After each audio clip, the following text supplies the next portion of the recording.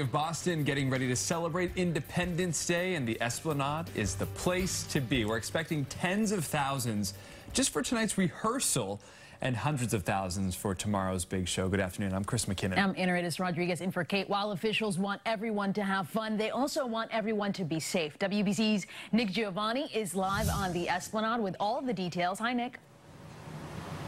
And and on that note, we're seeing tight security here already surrounding the Hatch Shell. State police posted up along the perimeter, even in the water right now, anticipating about 100,000 people here in just a matter of hours.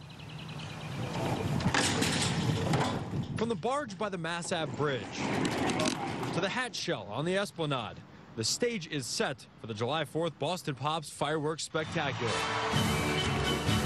And this setup is uh, legendary. It's a setup Bostonians are accustomed to seeing. I've sat here through the hottest days, misting, you know, those mist tents and all of that. So I've done, I've done it. You can't be from Boston and not do it. Some stop by Monday morning for a sneak peek of tonight's sneak peek.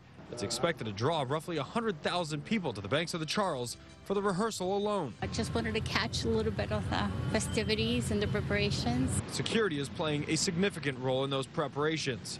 Officers were out conducting sweeps even before sunrise. Eight, two, one.